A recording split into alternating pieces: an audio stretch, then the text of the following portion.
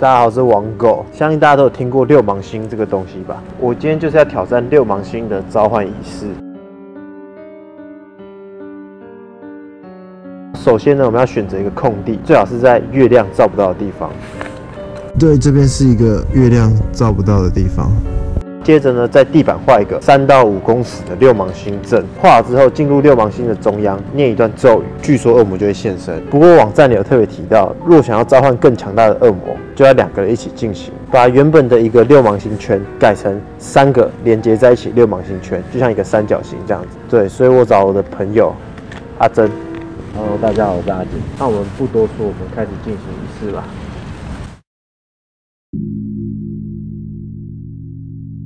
好，那我们现在要开始画圈，画三个嘛，对不对？嗯。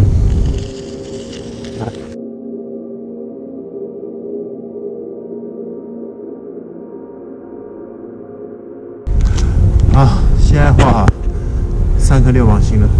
等下我们就站在那个正的中间，然后喊咒语这样子。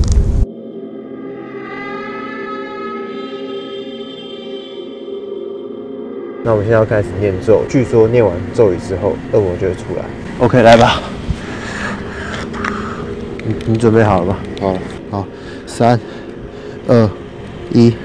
雅加米莫伦，奥加米莫伦，从地狱底部召唤邪恶之物，丑陋的灵魂，撒旦，撒旦，奥摩迪斯，迪斯尼斯，撒旦，撒旦，奥摩迪斯，迪斯尼斯。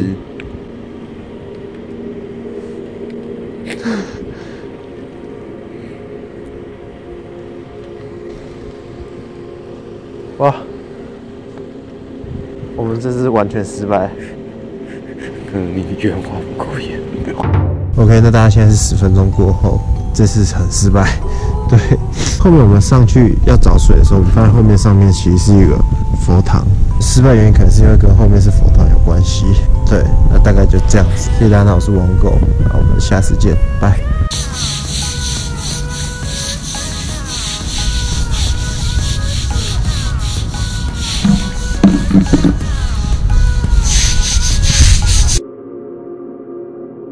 会闪人啊！